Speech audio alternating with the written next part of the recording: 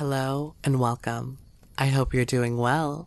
Come and get cozy as I share with you some absolutely terrifying encounters. I post new videos every day, so be sure to hit that subscribe button and the notification bell, and you'll be notified when new daily content arrives on my channel. Alright, let's get right into it.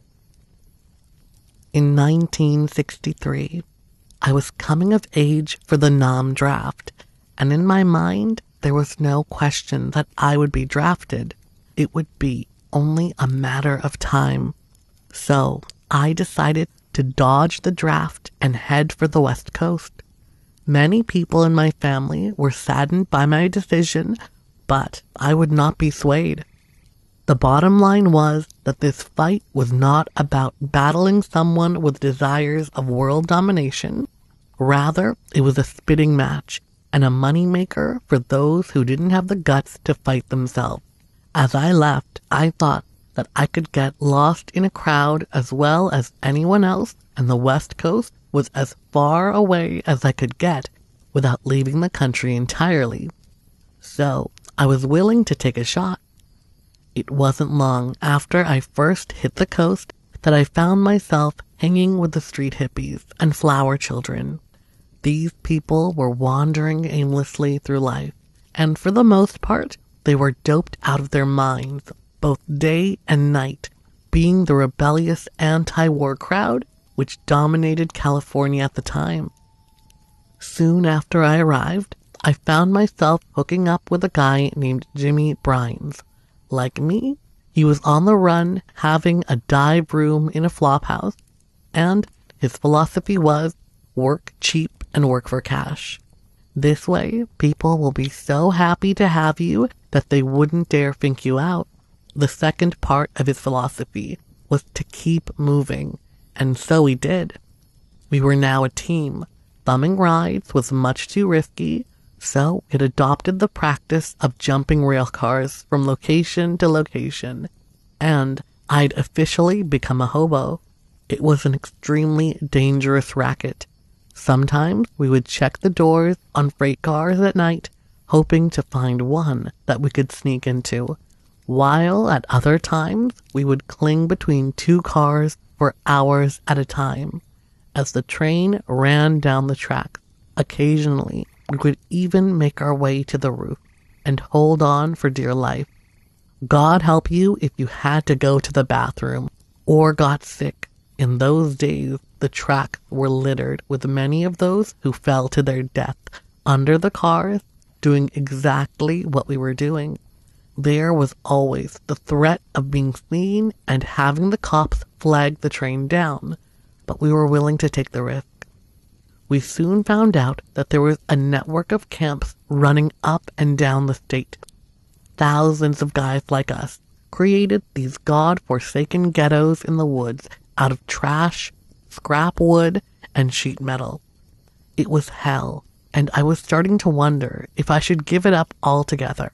In the second camp that we hit, one of the drunks told us to make sure that we sleep close together we looked at each other for a moment, and I know that we both thought the same thing. When I questioned him about his motivation, he told me that guys disappear from this place at night, especially when the farming season was over. This dude staggered off, and the two of us realized that you could lose your life in these woods for a $5 bill, and no one would ever know the difference. We stayed awake that entire night. The next day, I caught up with the same cat from the night before, and this time he was relatively sober. So I asked him about the guys disappearing. He looked me square in the eyes and said that the hairy men took bums like us for food. I shook my head in disbelief and asked him what the heck a hairy man was, and he told me there were things in these woods that man knows nothing about. When the food runs low out in the fields, they come to us looking for a meal. This was the craziest thing that I'd ever heard. Hairy men eating humans. All I could think of was that this guy had to be touched in the brain. That afternoon, we split yet again. There was no way we were going to hang here for another night. We slept in the woods by a freight yard for two days, hoping to find an open car, and finally we did. Being a hobo was a lot like being an addict. If people dug you, they would take you in and hook you up with what you needed to know. You became part of the in crowd. So on our next jump off, we found another camp and got hooked into a little work as well. We worked at a masonry yard for several weeks, crashing inside of some cesspool rings at night. The owner knew it, but he didn't care. We were giving him a good day's work on the cheap, and he knew we were runners. He had a portable toilet in the yard and let us use his sink during the day. In keeping with our philosophy of always moving on, we split the scene after about 12 days and went back to the camp. When we got back, a number of the guys said to watch our butts because one of the guys was taken in his sleep the week before. When we asked what he had been taken by, they told us that one of the big hairy suckers had gotten him, pulling him right out of his box, screaming and kicking into the woods. All of his stuff was still in the camp, and no hobo would ever leave his stuff anywhere. That was the end for me. I hung in the camp for a few more hours while a couple of these guys talked about a boneyard they had found a few miles north that had human remains scattered everywhere. An hour later, I was on the highway thumbing a ride, and I didn't care if I got caught or even arrested. I was done with this whole scene, man. It took me almost two months to get home, stopping to work for some food and lodging along the way. When I got home, my draft number hadn't even come up. However, it did not too long after that, at which point I had a change of heart and went into service. Thankfully, I had a good working knowledge of engines, which parlayed me into a stateside gig, and I'm obviously alive and here today to tell my tale. On to the next one. Every one of my relatives has a long history of enjoying the outdoors through hunting. Early in the morning, my dad and I set out on a hunting trip. We figured that if we went ahead of the other hunters, we would have a greater chance of sighting grouse. We deviated onto an abandoned logging road with a split in it. We first followed the path that split off to the right. Unfortunately, we were unable to harvest any grouse despite seeing numerous. Along that same old logging road, we had seen two other hunters who had chosen the left fork earlier in the day. The two experienced hunters we spoke with were short. My dad and I didn't begin traveling down the left fork until 11 o'clock that morning. Also, we came to a halt. Ahead of us, on the side of the road, stood a big figure like a man. He faced us squarely, over the left shoulder as he stood at an angle. But this wasn't a human being. All of the things were covered with hair that was a drab gray black color. Most people would probably say it's half ape, half human. They were approximately seven feet in height, would be my educated guess for their size. We couldn't tell what sex or eye color the man like creatures had. We could only guess but the other details were crystal clear. We cautiously began to retreat. This humanoid creature slowly retreated into the bushes, turning around before taking two hefty steps. We were both shocked. My dad was 56 and I was just 17.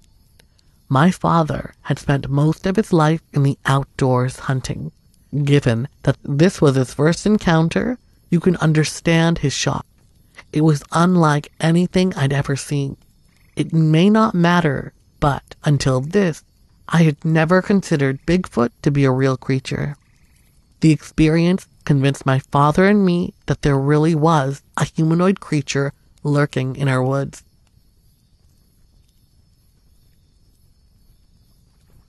On to the next one.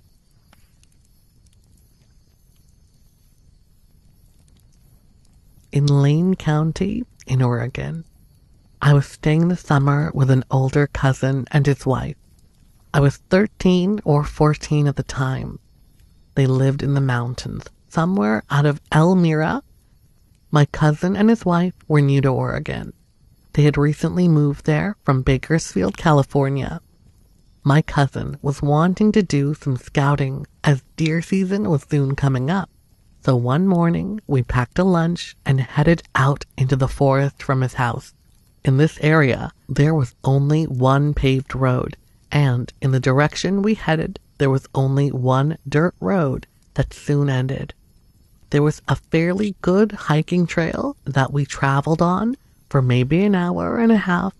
Then we came upon a smaller, less traveled path that we stayed on for a good 45 minutes, stopping now and again on the edge of small clearings the forest became too thick to see very far at all, so we decided to try and make our way up onto the side of the mountain we had been traveling at the base of.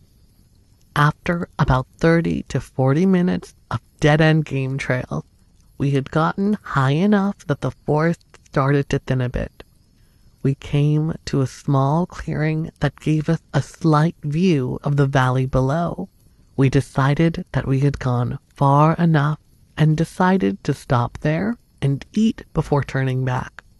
It wasn't but just a moment after getting our food out and sitting back on an old log that we heard some rustling and snapping of twigs, what seemed like just out of our sight in the dense forest. But the sound of the twigs, we both knew this couldn't be a rabbit or any small animal. My cousin instantly turned and whispered, Bear. We were still for about one minute. Then came identical noises from the opposite side of the clearing. This really confused me, as the sounds were rather loud, and I didn't see how it could have moved to the other side of the clearing without us hearing it. My cousin then whispered, Two bears, and then whispered, They smell the food. Just then, there was a loud snap in the area of the second noise. Another of the things that was most frightening was the loudness of the cracking. I thought, this is one huge bear. Over the next two minutes, I was terrified as the snapping and breaking of what must have been large branches changed position. Around the clearing, never did the noise come simultaneously from the same spot. Not until I heard the shot did I see my cousin with a snub nose 38 pointed into the air. As soon as he fired, there came a loud, powerful roar that started low in pitch and ended very high, not shrill. It was a warning I will never forget. As soon as this powerful yell, scream, bellow ended, we were on our feet and running in the direction we had come from. After about 50 yards, to our horror, there came another yell, and I was sure this thing was following us. We began running at full speed. I instantly started getting scratched and struck by the thick forest. We were running downhill, and at about 150 to 200 yards, it again screamed. It seemed so close, but we never saw anything. No movement, shadow, shape, nothing. We were now running as fast as we possibly could, not on path. I can only describe it as reckless abandon. Several times I lost my feet and rolled and dove through ferns, trees, and thorny bushes. I became separated from my cousin, but never slowed up as this scream would repeat approximately every 20 seconds. Once back on the trail, my cousin emerged about 50 feet from me. We still ran for what must have been a mile before this thing let up and started giving us some distance. But every time we started to stop or even slow, it would yell as if to say, Not yet, get going. It was the tiredest I'd ever been, my lungs and throat were past hurting. I was so tired, I was dizzy. I felt as if I would pass out any moment.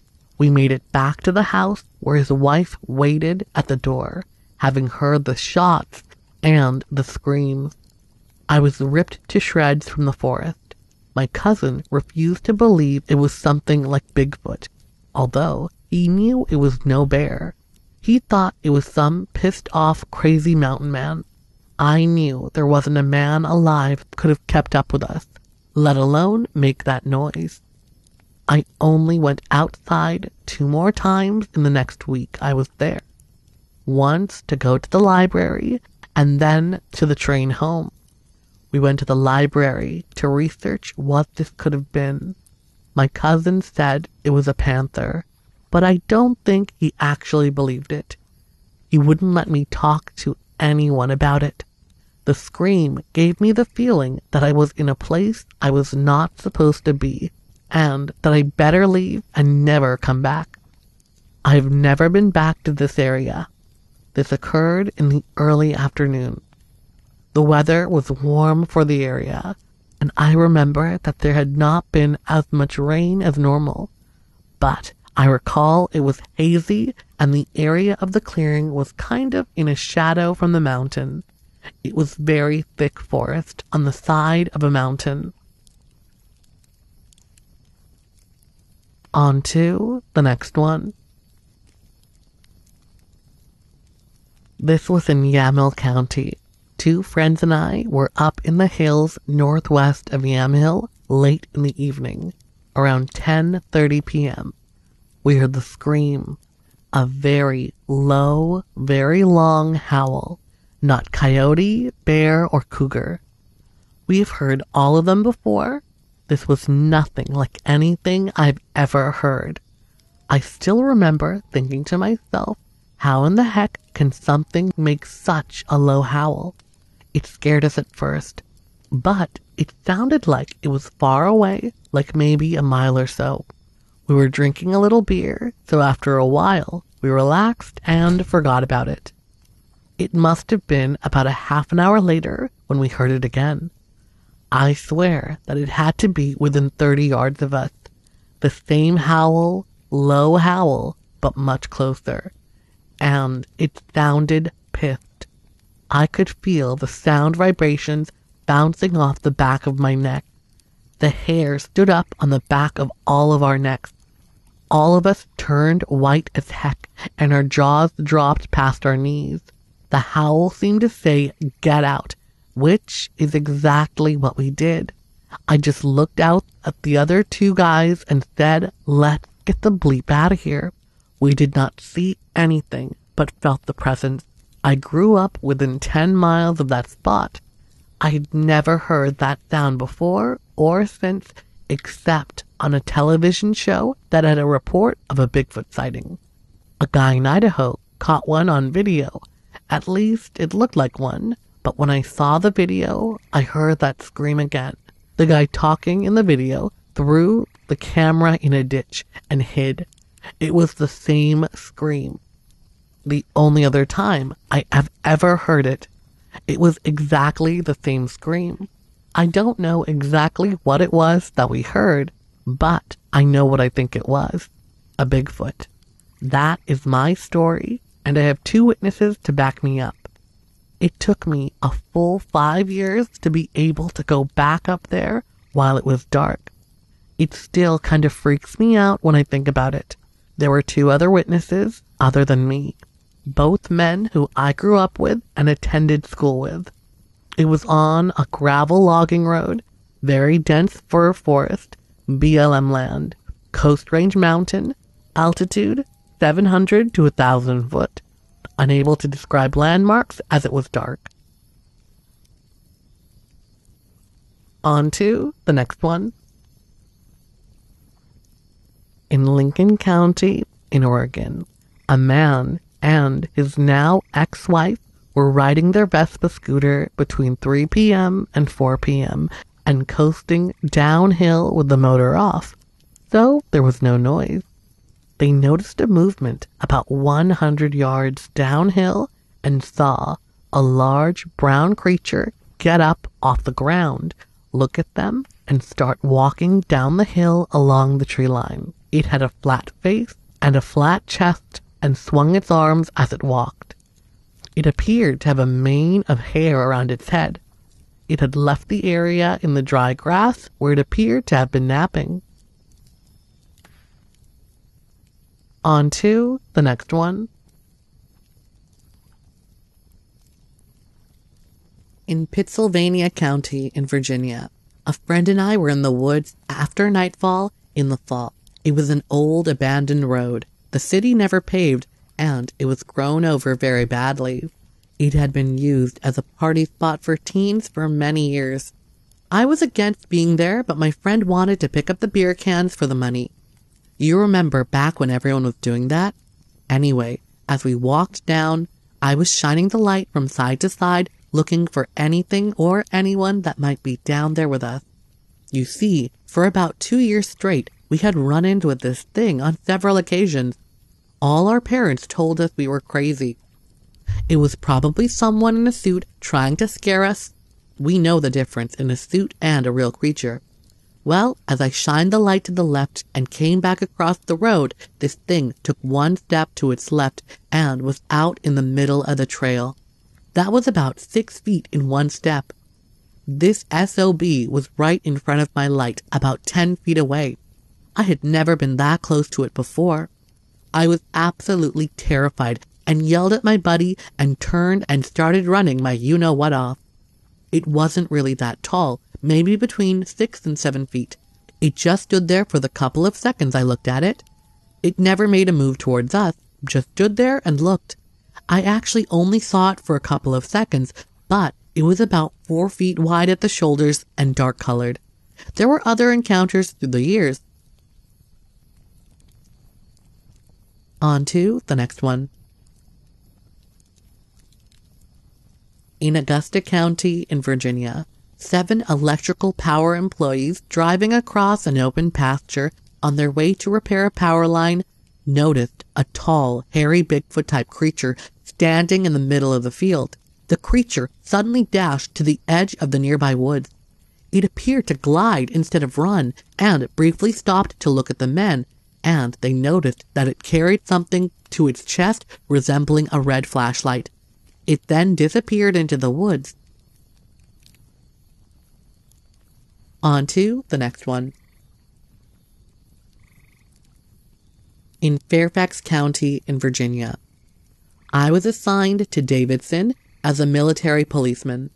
The airfield is not that large, and I'm pretty sure it's still an active military installation even now. The airfield is pretty much surrounded by a wooded area, and part of the airfield is on a small swamp. When I started working there, I was chided by other military police to be careful of the so called Dusa Swamp Monster, it was called we had to have a walking two man patrol a couple of times a night, walk the perimeter fence inside the field area. There were countless times while on those walking patrols where sounds were heard not only from the swamp area, but also the wooded area along the south perimeter fence. By sound, I mean you could hear branches breaking, not small branches, mind you, but I mean very loud, audible crack You'd hear dogs barking in the distance and occasionally some kind of animal, which, after hearing recordings on the net of a Sasquatch, they sounded awfully familiar. Randomly, I also had to pull a guard at the main gate, which is right there on Route 1, the main entrance to the airfield. I've had the life scared out of me more than I'd like to think about at that gate at night. You're there all by yourself in a small wooden gate shack with one streetlight right above you, and that's it. Anyway, to the south in the woods, I've heard bangs, what you all call knocks, and animal noises. I've seen deer running like all heck and jump the fence onto the airfield in the middle of the night to get away from something, and it was one time way too many. When I saw a deer following the fence at about 2 a.m. one night, and I heard something in the woods I yelled out and I saw the red reflection of those two eyes staring at me back from the blackness just inside the trees, just out of range of the streetlights. I still see those eyes when I think about it, and it's been over 34 years. One night, about 10 p.m., or around there, I had a civilian motorist come to the gate off Highway 1 and ask me to call the state police. I asked why, and he said, this big, hairy thing, yup, he said thing, walked across the road in front of him and headed into Fort Belvoir property, and he almost hit it. He thought at first it was a man in a gorilla suit, but it was way too tall to be a man. This guy was shaking like all heck. I told him that it's probably gone now and that the troopers probably would not find it. I had heard of other reports by motorists and even state police about sightings around Route 1 between Dusa and Fort Belvoir. This happened year round, almost any month of the year. As I said, there had been numerous times, at random times of the evening or night, that I'd heard bangs and branches, which sound more like a whole tree breaking and other strange animal sounds, and there was no way I was going alone out there to see what it was. Other military personnel and military policemen have also heard the sounds coming from the swamp and wooded area, mostly from about sunset to early morning. After sunset, it is dark no ifs, ands, or buts. I was told by military personnel on the base and other military police that this kind of stuff has been going on since before they were assigned there. It's a pine wooded area, Swamp Creek. I think there's a housing community on the south side of the wooded area. On to the next one. In Middlesex County in Virginia, the sighting occurred just north of a crest in the road, where you could not see through until you had actually gotten on top of the crest. The road rose again, but not quite as steep as it was going downhill. The sighting took place on the downside of the hill, almost toward the bottom. This incident has been bothering me for 25 years. My girlfriend, now my wife, and I were driving back from Virginia Beach back to Baltimore on Route 17. As I was driving over one hill, I noticed a dead animal on the road. On the slower lane, about half a mile ahead, it appeared to be a large, dead dog. As I approached it, I had to change lanes and started to notice a smell that reminded me of muck we used to pull out of the creek near where I grew up. The odor got stronger, and I thought it was an unusual smell for a dead animal, which now appeared to be the size and color of a German Shepherd. As I drove around the animal, I watched it so I would not accidentally hit it as I went by. It straddled the lane markers a bit.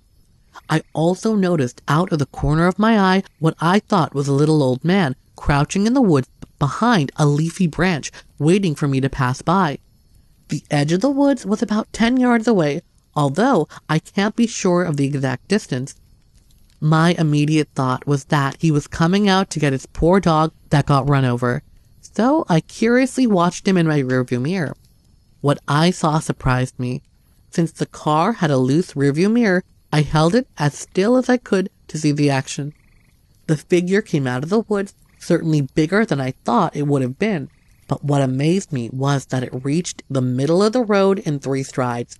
It looked down at the dead animal just as another car was coming over the crest behind me. It stood in a crouch with its hands well below its knees in a sort of monkey like position. It appeared startled as it jerked its head toward the oncoming car. I saw what looked like two long furry ears, possibly dreadlock type hair, swinging around, following its head. My first impression was that it looked like one of those old aviator hats with the long ear pieces, but made out of hair. As soon as it was startled by the other car, it turned and took another two and a half steps back into the wood. What amazes me was length of the stride. My then girlfriend asked me what was the matter. She said I looked like I saw a ghost. For some reason, I reacted like I just saw something I couldn't explain and started to get physically shaken. We stopped a few minutes later at a roadside store in Jamaica, Virginia, and bought a soda to soothe my nerves. That's when I realized I cannot tell you exactly what I saw but it was definitely not what I originally thought it was. The combination of the rancid odor, the long, quick strides it took, the floppy ears, its color, now makes me wonder if I saw a Sasquatch. Now, in looking at the map, I noticed this part of Route 17 goes through a swampy, desolate area. My girlfriend, now my wife, was in the car. At that time, she was oblivious to many things going on around her. That's why I married her. To this day, she says she does not remember the incident. It was just moment before dusk on a clear day with typical hot, sticky weather for Virginia. In August, there was occasional cloud covering the sun and forest on either side for two miles. The highway is divided with a large median between sides. There were no other noticeable landmarks, although my map shows a nearby swamp called Dragon Swamp that parallels the highway. On to the next one. I first encountered something in the spring when camping with a group of friends in the woods bordered by Lyons Road to the west of the Florida Turnpike to the east, Sample Road to the south, and Winston Park Development to the north. I left the camp alone at about 1 a.m., heading east toward the turnpike on a trail. I began to hear what seemed to be footsteps in the woods, maybe five to ten yards to my right. I'd also like to say that I smelled a musty odor. But I could be inserting that into the report. It's been a while since I've had the encounter, and my recollection isn't as clear as I wish it were. Regardless, I continued to walk, and the footsteps were remaining parallel with mine, and it became clear that whatever was to my right was walking on two feet from the stepping pattern. I started to get a little frightened because the area where the footsteps were coming from was a thicket of Brazilian peppers, difficult to walk through during the day and nearly impossible to manage in the night. I heard it move closer and I turned around and walked briskly back to camp. I woke my friends and we went back to find it, although it was gone at that time. I remember leaving with the impression that I had encountered a Sasquatch, which must be because of the scent. Although I wrote it off as a figment of my imagination, that it must have been a farmer or a vagrant in the woods. I proceeded to forget about the incident and never mentioned it again. About six months later, my brother was in the same woods maybe a half a mile from where I had my encounter, walking at night with a friend. He turned a corner from one trail to another, and Bigfoot was standing at the intersection of two trails. He said it had reached out for him, and he and his friend ran off. He told me about the experience, and I then related mine. We had a running joke for a while that there was a monster in our backyard. I wanted to report the incident for a few reasons. It's a very unusual area to encounter a creature like this.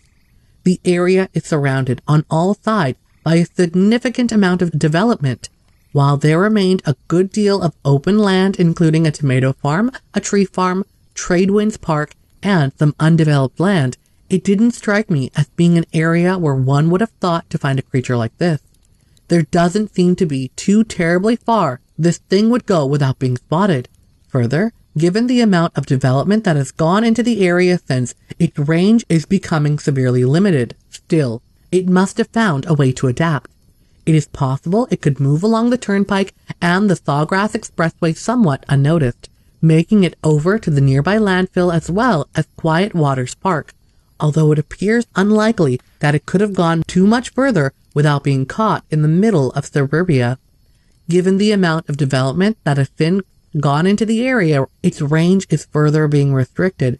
It might be a very lucrative area to investigate. At that rate, development is going. If it is still back there, it's going to be encroached upon sometime soon. There is a wide array of, of environmental types back there. A good deal of swamp, some pine land, some fields, as well as some farmland. The area I encountered it was in an area of mixed pine with Brazilian peppers on the ground. My brother encouraged it at a trail near some wetlands, standing in some brush. On to the next one. I was hunting deer and hogs in Florida on a farm with a lot of underdeveloped land on it. I was walking around a clear cut, heading into the back part of the land, and I smelled something that did not smell right. The smell was, well, as close as I can describe it, like a bear that had been sprayed by a skunk. But I have been hunting all my life, and no skunk or bear ever smelled like that. I turned a curve about 40 yards away. I saw an animal that was approximately six foot nine to seven foot four. I'm six foot six, and it was taller than I am. Its color was brown. It was on two feet. It turned, and I went to my knees to brace for a shot if it came towards me. It ran faster than any man I have seen run. It ran into the woods. The reason I did not shoot it was it was a possible endangered species or the slim chance it was someone in a suit. I didn't think it was a suit. I've been hunting all my life. I still don't know what it was. P.S. I had a chance to look up on the laws if one was shot, but can't find anything. What do you think the repercussions would be? The Fish and Wildlife say there is no black Florida panther, but if you shoot one, will you go to jail? Have you ever heard a deer grunt call? It made a noise close to that, but much deeper in tone. I told my father, and he said he didn't want to know anything. I hear of stories from my great uncle and one of his Indian friends about a wild man and a swamp ape running around the creek bed. On to the next one.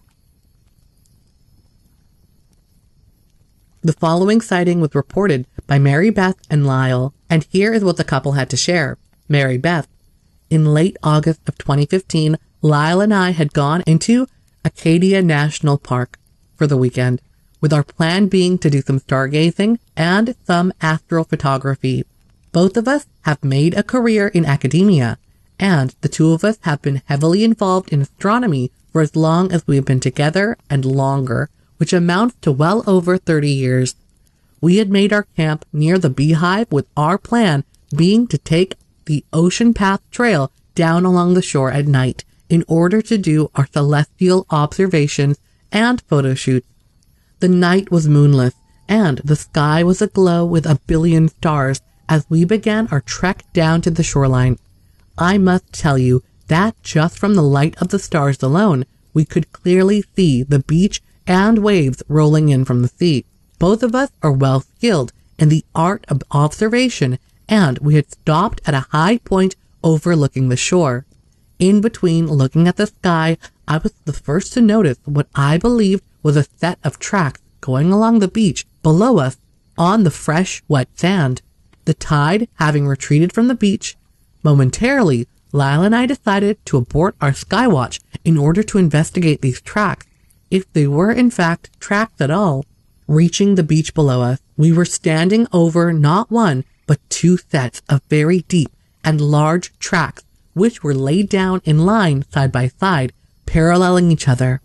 I put my forearm into one of the tracks nearest the water, and there was at least a foot of water in the hole. From the direction of the prints, we could see that whatever had made them came off the rocky area that was behind us and stepped down onto the beach as we had. The pathways meandered to our right, which led up to firmer sand away from the water. As we followed them, we could see very firm and distinct imprints which were sunk perhaps some six inches or so into this portion of the beach. They were those of a large, human-like foot, much like our own, only mammoth in their proportions.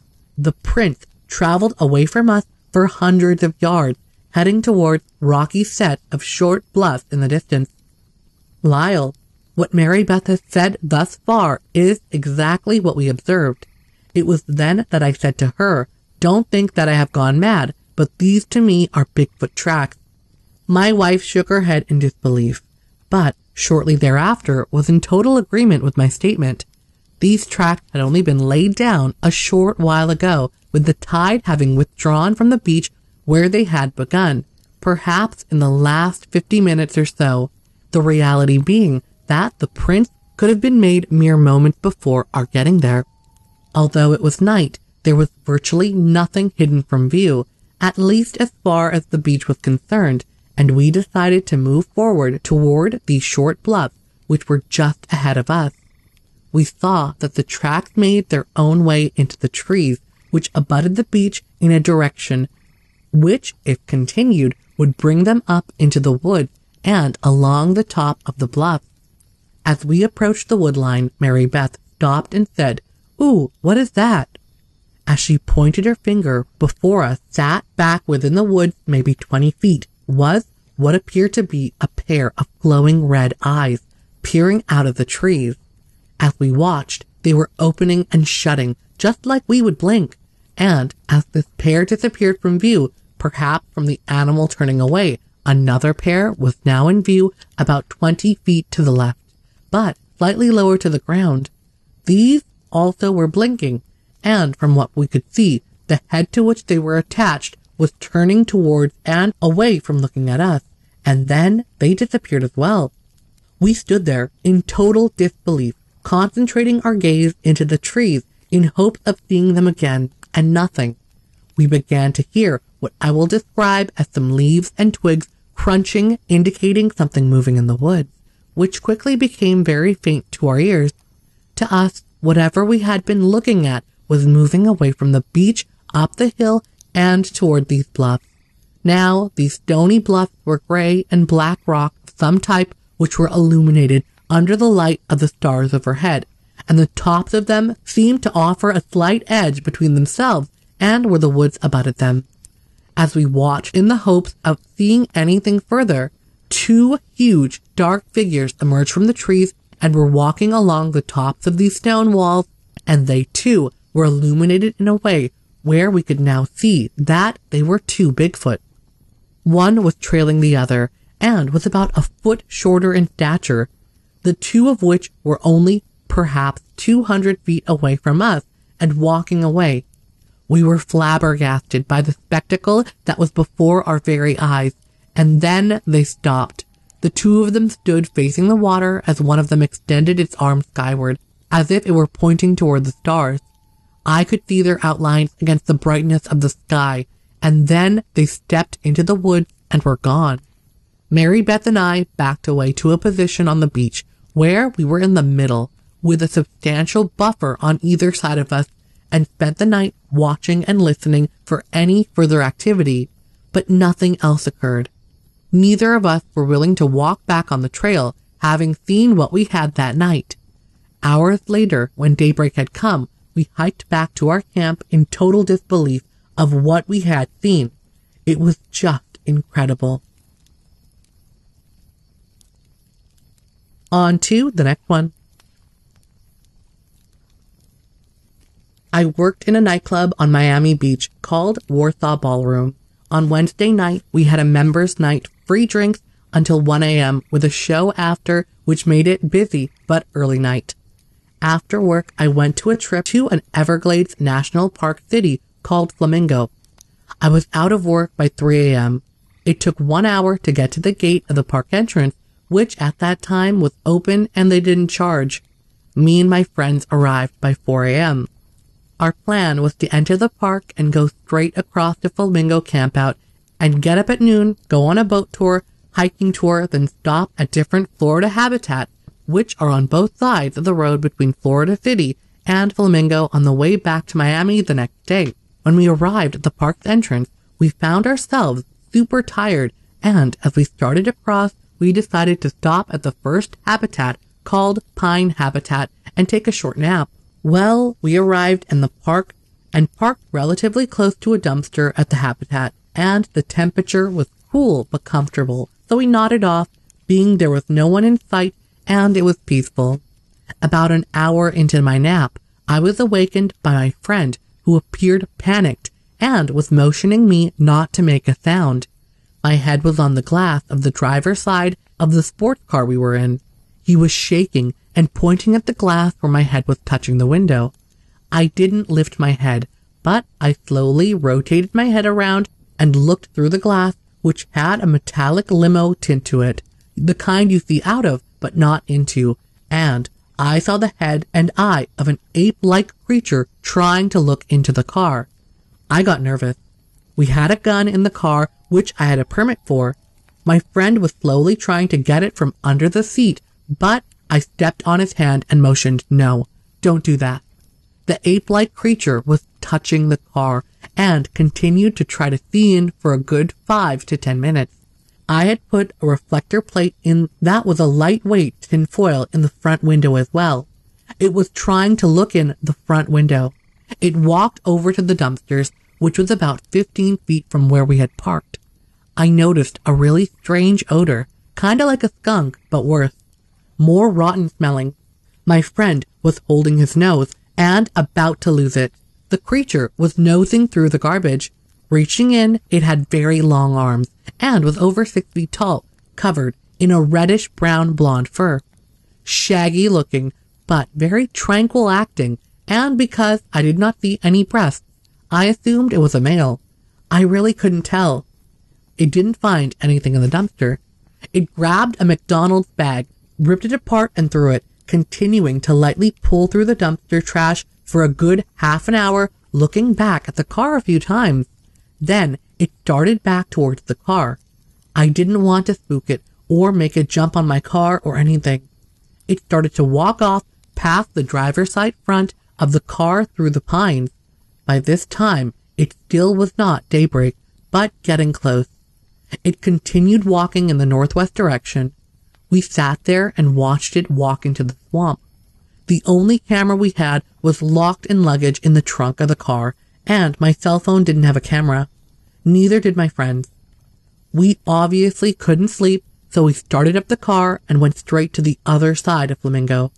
When we arrived, we napped in the parking lot of the info center, and when it opened, I went in, found a ranger, and told him what had happened, along with a female park ranger as well.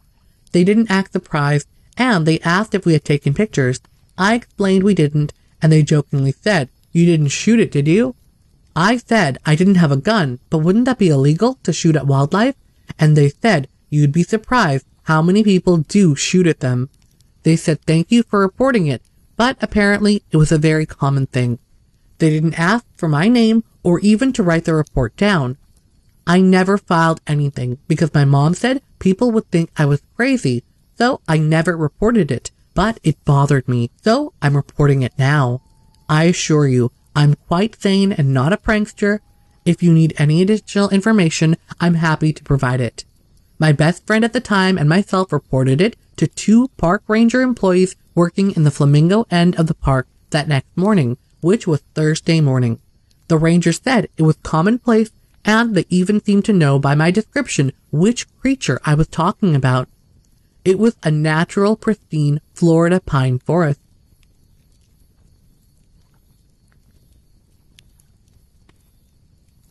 On to the next one.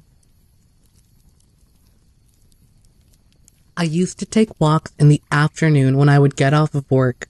There was an old logging road that made a loop about three miles around in the woods across from my house. It was about 3.30 or so when I set off this day. I always carried a little 22 pistol with me in case I came across any snakes. My grandmother's two dogs also always went with me on these walks. We had turned off the main grade and gone maybe a quarter of a mile into the woods when we started down through the slough. The logging road cut between two little swamps. There were a lot of scrub oaks and low growing trees just before it opened up into the swamps. I had just cleared the scrub oak and came into the clearing when I noticed the change. It was like everything in the woods had vanished. The birds stopped singing. I mean, it was quiet. I broke out in a cold sweat and the hair on the back of my neck stood up like I had just been shot. Like when you know you're being watched. I glanced down at the dogs, and both of them had come to a stop like they were frozen in place. The hair on both of them was standing straight up. They were looking off to the right of me, but neither one of them so much as growled. It may sound funny, but it seemed like on cue the wind picked up and I caught a smell that I really can't describe. I looked to my right and about 50 or 60 yards up the hill, I could make out the shape of something very big, standing between a couple of oak trees and some other brush. I stood there for about 30 seconds or so, trying to figure out what it was before it moved. It reached out and grabbed two of the oak trees and started shaking them back and forth. And Then I heard something like I have never heard before in my life. It didn't sound like an animal growling or a person screaming, but kind of a mix of both. The next thing I knew, I had reached for my pistol, looked down, and both dogs were gone. I decided that it was time for me to leave at that point, and I made my way very quickly back to the house. The next encounter happened about five days later on the other side of the main grade. I had just left the house from having lunch and going back to work. I was riding a four wheeler at the time, and we had a lot of trails cut through the woods that we rode on. I had just come out of the woods and onto a pig trail just up from what we called Bathtub Springs. The pig trail turned into a main grade about a quarter of a mile from where I came out on it. I started towards the main grade when I noticed something very large and brown running through the woods about 20 to 25 yards to my left. It kept up with me as I rode about 15 miles per hour for at least 20 seconds. I saw it sling something in a sideways motion like throwing a frisbee. I was just about to the main grade when I realized something had hit me in the chest. I didn't stop until I got out to the main paved road. When I did stop to see what had hit me, I saw that it was a rabbit that had been turned inside out. It was several years before I worked up the courage to go back into those woods. A lot of people may not believe me, but those that know me know that I grew up in those woods, hunting, trapping, fishing, and camping out. I have walked up and been stalked by Florida panthers and wild hogs, but I have never had the feeling of truly being scared until these encounters. The animal observed in the first encounter is estimated to have stood approximately seven and a half feet tall and weighed at least 400 pounds. The trees it shook were 25 to 30 foot tall oaks. The sound it made was a very loud wailing like scream that lasted for what seemed like 15 seconds. The animal observed in the second encounter was light brown to rust like in colored. It had hands with five fingers. The palm was hairless and dark in color. It ran through the thick woods effortlessly. The time was midday and early afternoon. The weather was sunny. Really beautiful days. It was pine forest that had scrub oak growing among them. There are a lot of fresh water springs in that area. Peacock State Park is directly across from the second encounter. On to the next one. I want to start by saying that I never guessed Bigfoot to be real. I regret to admit that I was one of those people who would have probably got into a heated debate if I was around someone who was saying that the creature exists. Well, that would all change when I was on my friend's yacht along the coast of Vancouver Island only three years ago. One of my girlfriends had an extremely wealthy friend from China who owns real estate in Canada. On a long weekend, I was invited to join them along with a group of somewhere around 10 others to head out on a little cruise. The whole thing was wild. Although I did have a bit of trouble communicating with our host since he spoke relatively little English. He tried pretty hard but I did even have trouble understanding much of the English he did know. That made things a little bit awkward, but everyone was intoxicated for the most part, so we were all pretty laid back. That is, until we saw this large creature. It was in the evening that we were anchored near what I suppose you'd call a small island just outside the main island. The small island was covered with very large pine trees, and you couldn't see a whole lot past the thin coastline. One of the girls was talking about how she saw a couple of weird people come out of the water and walk into the forest. The reason she kept talking about it was that she said their movements were very odd. I remember her saying it reminded her a lot of the character Gollum from Lord of the Rings. Of course, Many of the other girls were making fun of her, saying things like how she must have smoked too much weed or drank too much. By the way, it's always annoyed me when people comment that you must have been drinking too much when you see things that are hard for them to comprehend. Last time I checked, alcohol isn't at all like mushrooms, acid, or other psychedelics. But it was when someone mentioned the word Bigfoot that the real joke started to come in. However, all of that laughter would stop once the Chinese man ran over to the railing in his robe, pointing toward the coastline of the small island. He was so excited that it was causing him to speak in his own language. I'm not sure he even realized for those few seconds that he was doing that. Either way, many of the girls rushed over to where he was standing and quickly checked out the scene. I remember hearing several gasps, all caught sight of the large, hairy animal swimming towards the yacht. Girls even started screaming as the thing was nearing the large boat at an alarmingly high speed. It would often fully submerge itself for around what I guess to be about five seconds, and then it would reappear at the surface much closer than it was before it went underwater.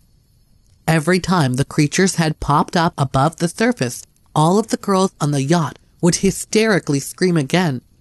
Eventually, it reached us and attempted to start to climb up the side, it quickly grew frustrated once it realized the walls were too slippery and there was nothing for it to grip to make its way up to us.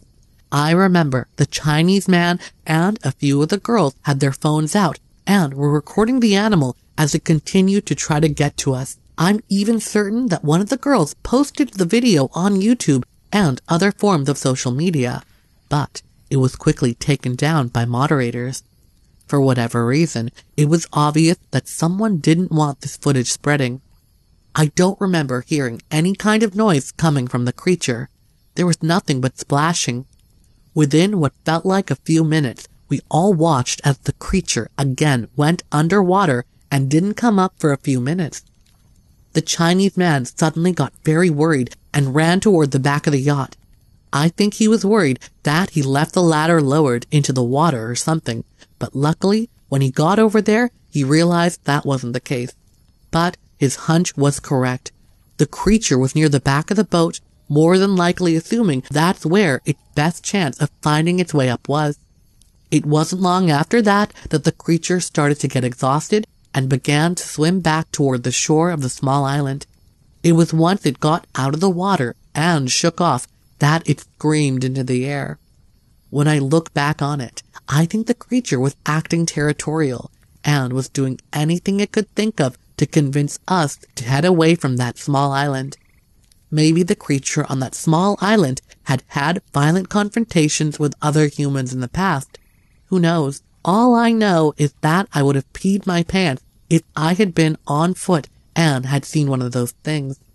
There's no question that something like that would be able to do whatever it wanted to someone of my size I'd be willing to bet money that many of the people who go missing in the woods ended up running into these creatures. It just makes too much sense to disregard that theory. One thing I will never do is hike throughout Vancouver Island. I just have this feeling that those creatures are all over the place in that wilderness. I don't think you could pay me enough money to camp in a place like that. On to the next one. My encounter took place while I was on a camping trip with my girlfriend in the middle of Texas. It was in the autumn season because my girlfriend had gotten really into camping and wanted to do it while the leaves were most colorful. I remember hesitating a bit because my girlfriend was the type to get cold easily, and I knew it got colder than normal at night in October. The convenient part about it was that we had no trouble booking a popular campground. As compared to summer, it was considered off season. It happened during a long weekend, and it wasn't until the third night of our stay that we experienced the phenomenon. I remember we were cooking up some BLT sandwiches over the campfire when suddenly there was a huge crashing sound coming out of the woods. It was so explosive and startling that I can feel my heartbeat accelerating as I think about it right now. Out of the woods came what looked to me like a very large naked man. He didn't just look like a human because he was completely covered in hair, but the hair was much thinner than that of any animal I've ever seen or even what I would expect a Sasquatch to have. I thought the face resembled that of a caveman or Neanderthal, it ran on all fours over to the fire. It looked like it had expected to have a much easier time removing the bacon from the foil that sat atop the fire ring. The animal was missing teeth on both rows, and it didn't have anything that I would consider to be sharp like canines. The teeth were much like ours, only much, much larger. It seemed to start looking around the ground for a stick or twig that it could use to remove the bacon from the foil without burning its fingers. I got the sense that these things were terrified of fire, but that this one was desperately hungry. Clearly, it had a craving for meat, so I immediately wondered if the deer populations in the area were scarce. My girlfriend, who I should probably mention is now my wife, ran to the car, only to realize it was locked. She then ran around to the side of the vehicle as there was no other place to escape to. I didn't even know what to do, but I did know that the keys to the car were inside our tent, and to get to the tent, I would have to get closer to our visitor. Even though this thing could have polarized me with one blow, it seemed much more interested in the bacon than my girlfriend or I. It wasn't all that long before it did manage to get the desired meat, and I remember how it made weird noises due to the high heat of the food. But that goes to show how hungry it truly was. From there, all it did was look around the area for a few more seconds before it walked back into the woods on all fours. We quickly threw everything in the car and screamed. Neither of us had the desire to go camping ever since.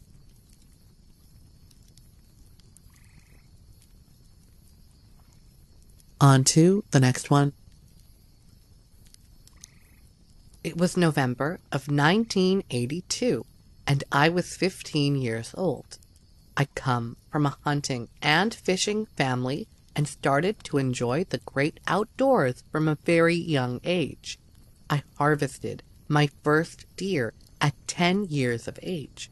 My father was a decorated World War II Navy veteran. He was actually on the U.S. Yorktown and in charge of the engine room at the Battle of Midway.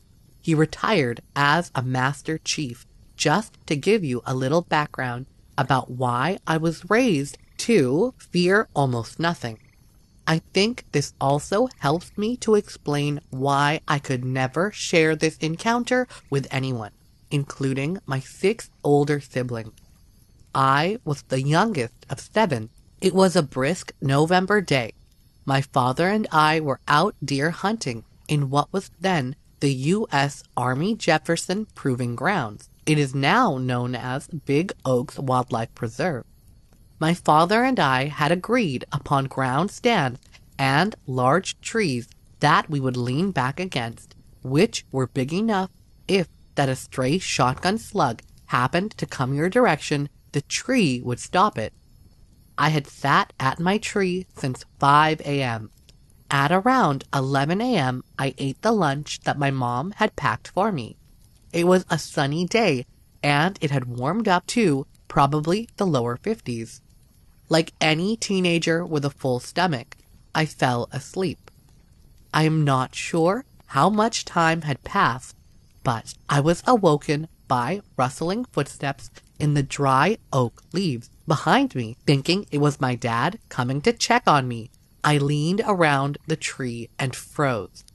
Not thirty feet from me stood an ape like creature on two legs. It had hair that I can only describe as being the color of ripe wheat. It stood approximately nine and a half to ten feet tall. Its face was flat and was connected to what I guess you would describe as a high forehead. I did not get a great look at its eyes, but they seemed dark. I would guess its weight to have been somewhere between 400 and 450 pounds. I think it smelled the deer urine I had put down that morning, but with the weather warming up, the wind direction had changed. Thank God, because I knew in my heart that if it would have seen me, my family would have never seen me again. I eased back around my tree and began to shake. I knew that the three 12 gauge slugs in my gun would do nothing to something that muscular. other than to simply piss it off. In a few minutes, its footsteps gradually drifted out of earshot, and I went to find my dad. I faked a stomach ache so that we could go home. Years afterward, I remember that every year we would have to go to a safety briefing before the hunt, and the colonel would always tell us no cameras, and if you don't know what it is, don't shoot at it. Before he would add, you don't want to know what's in here. I have never told another living soul this story. Even after all these years, I'm still shaking as I think back on it. On to the next story. The area in which these encounters took place is in the Center Star community of Lauderdale County, Alabama. There are a mix of new subdivisions, farms, trailers, and old homes. It is very thickly wooded with plenty of deer, fox, turkey, livestock, and other wildlife. The entire area runs along the Tennessee River, with several large creeks branching off the river. The Blue Water Creek runs off the river inland, and in some parts there are high cliffs and caves. The main areas of focus for my recount are bordered by county roads 33, 31, 411, and 111. There are plenty of areas where the woods get so thick that you cannot gain access to them. As a side note, there have also been some very large deer, 14 point, killed here. I will describe each incident in detail. Incident 1 March 2011, about 7 a.m. It was the first morning of daylight savings. The clocks had been moved forward and I was out delivering papers. As I was making a delivery on Route 33, I noticed a large herd of deer running across the road about a hundred yards in front of me. I would see deer every night, so that wasn't out of the ordinary. But what caught my attention was that they were being chased. They crossed from the woods to the south into the thicker woods to the north. I pulled up and looked at the place where they had come out of the woods. I was searching for what had been chasing them, but the only thing I noticed was it was very still and quiet for that time of the morning, and the trees were shaking. I also noticed that some of the cows in a nearby field were acting funny. They seemed very nervous. I grew up around cattle, so I can tell when they are out of sorts. The next morning, at around 5 a.m., I was on the backside of the woods where the previous incident took place. This time I was on Road 411. This is a dirt road going down to the sailing club. It is very thickly wooded to the north and to the south are some weekend homes and the club. I only needed to deliver one paper turn around, and drive back out. Although there is one street light at the end of the road, on the whole, the street is still very dark. I had stopped to use the bathroom. I was facing the woods as I was doing so, and all of a sudden, something growled and screamed from the woods at me.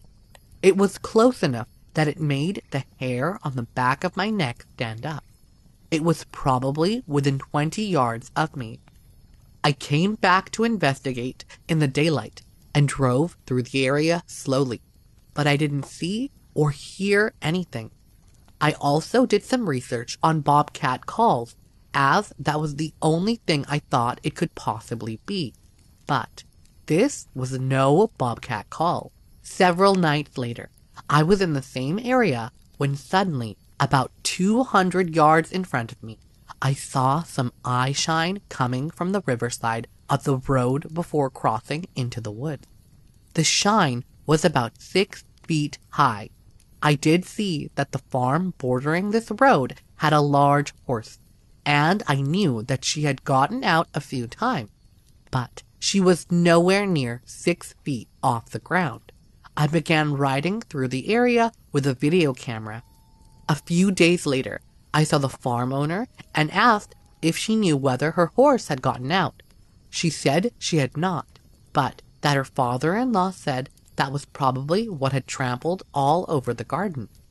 This whole area is very well suited to a Bigfoot. I call the woods the Bigfoot Woods. They just have a creepy feel to them. I began to check the area several times a day, but never saw anything. A few weeks later, the landowner moved some cattle in, but they did not stay long. I left a note on the fence asking if I could hike in the area, but I never heard from him.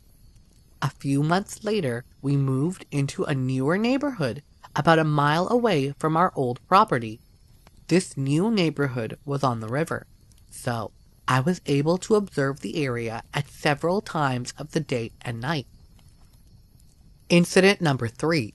Late August, around 3 a.m., this encounter occurred roughly two miles from the first incident, along Road 111, closer to Blue Water Creek. The area is an isolated road with thick woods to both sides. There are farms on either side as well. It was a very muggy night, and I had my windows down and my tops out of the car. I was making a delivery, and the area across the road from me sloped up slightly into some thick woods between two farms. The woods went all the way back to the creek and river inlet. I had just made my delivery when I heard a sound that to this day is still the scariest thing I have ever heard. From across the road came this combination of a bark mixed with an owl hoot followed by monkey chatter. It sounded like it was right inside the forest, not far from the tree line, and judging by the array of noises I was hearing, I guessed that there were more than one of them. I left as quickly as I could. If something had come out of the slope, it would have been right on top of me. I didn't see it, but I felt its presence in the shadows, just beyond the tree line. I never took my tops out again on that road, and I kept my windows up unless I was delivering. The next few nights, I did slow down and listen as I drove through. I also began to patrol that area at several different times throughout the day. I noticed that the area had a small ditch running down the middle of it. I never found out who owned the land to explore it more. However, I did download some Bigfoot calls and screams on my phone while I was making deliveries or at various times, especially during dawn or dusk. I would ride through playing those calls I never got a response. There were several times I thought I heard hoots and calls. We had a lot of foxes in the area, but I know they did not get loud. I heard these emanating from somewhere in the darkness. Often, while I was outside at night, I would hear screams coming from the area of my first sighting. My new home was about a mile to the east of that area. I would also jog and run through that area, but never saw anything else again. I know that Lauderdale County has had a few sightings. I was directly across the river from Colbert County, where they had some activity around 2000. Wayne County, Tennessee. This was around 1995 to 1996 in an area of the county about 10 miles inside Tennessee.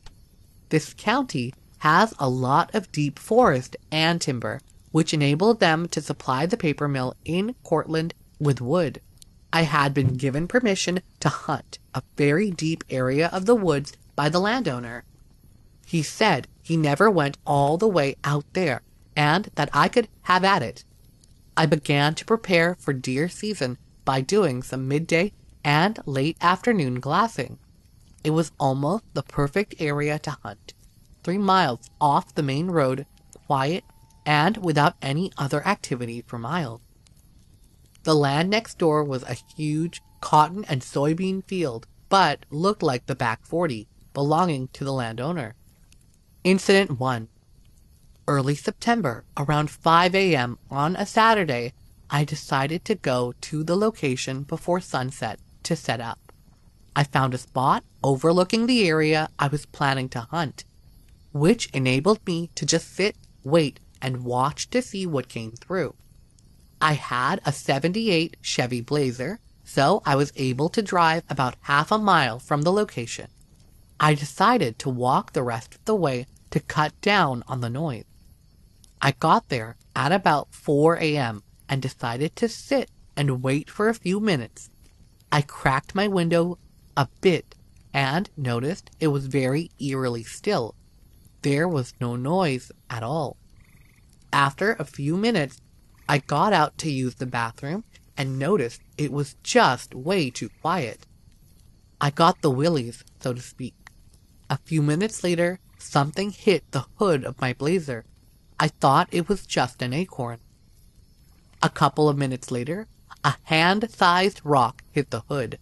I had my gun with me, so I loaded it and waited. Nothing else happened, but I decided to leave anyway.